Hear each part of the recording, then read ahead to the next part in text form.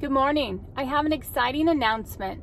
After prayerful consideration and receiving the support of my family, I am proud to announce my candidacy for the House of Representatives for District 33.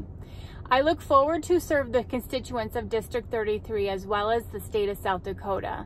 I will earn your vote on June 2nd. I promise you that. I am asking you to follow my journey on Facebook and Instagram at Torno for House, as well as my website at www.tornoforhouse.com. We will be putting together much more information so you can learn about me and my campaign and the platform issues that I that I stand on. So together we will have a new choice with a strong voice for District 33. Now please go have a blessed day.